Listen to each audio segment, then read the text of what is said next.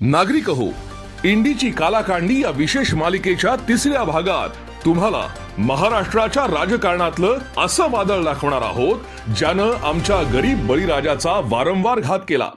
इंडी आघाडीचे सदस्य शरद पवार यांनी छप्पन्न वर्ष राजकारणात घालवली आणि त्यातली बहुतेक वर्ष सत्ता भोगली. त्यांनी त्यांच्या कार्यकाळामध्ये इतके भ्रष्टाचार केले की त्यांच्यामुळे महाराष्ट्रातील शेती आणि सहकारी संस्था पंगू झाली. पवारांनी सहकार क्षेत्राचा वापर केला आणि स्वस्त दरात जमिनी हडपल्या. ऊस आणि दूध सहकारी संस्थांवर ताबा मिळवला आणि स्वतःचेच खिसे भरले.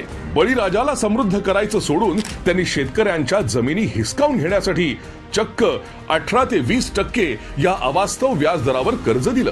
पवारांनी साखर कारखान्यांमध्ये केलेल्या आर्थिक घोटाळ्यांमुळे अनेक कारखाने दिवाळखोरीत निघाले. दोन हजार सात मध्ये झालेल्या कोट्यवधी रुपयांच्या गहू आयात घोटाळ्यामध्येही पवारांचं नाव समोर आलं होतं.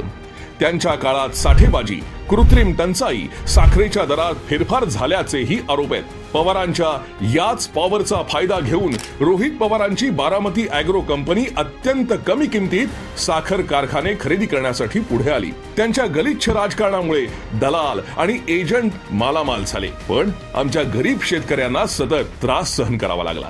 अहो महानंद डेअरीचा ऱ्हास हा पवारांच्या भ्रष्टाचाराचं आणि शोषणाचं ठळक उदाहरण. आहे दोन हजार चार ते दोन हजार चौदा या काळात शरद पवार भारत सरकारचे केंद्रीय कृषी मंत्री असताना महाराष्ट्रात वीस हजाराहून अधिक शेतकऱ्यांनी आत्महत्या केल्या.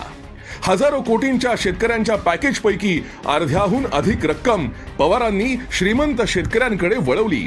या निर्णयामुळे राज्यातल्या नव्वद टक्क्याहून अधिक शेतकऱ्यांचं जीवन उद्ध्वस्त झालं. शेतकऱ्यांची अवस्था बिकट होत असतानाही पवारांना पाझर फुटला नाही. या जगाच्या पोशिंद्याला वाचवण्यासाठी त्यांनी कधीच प्रयत्न केले नाहीत. कधी आत्महत्याग्रस्त शेतकऱ्यांसाठी बैठका घेतल्या नाहीत की कधी एम एस स्वामीनाथन यांच्या अहवालावर चर्चा होऊ दिली. यामुळे महाराष्ट्राचाही विकास खुंटला. पण आता घराणेशाही आणि भ्रष्टाचारी राजकारणाला पूर्णविराम बसलाय. मोदींनी देशाची धुरा सांभाळण्यापासून देश प्रगतीपथावर आहे. त्यामुळेच जनतेनंही आता भाजपला पाठिंबा देण्याचं पक्क केलंय. कारण अब की बार इंडी हद्दपार आणि भाजप चारसो पार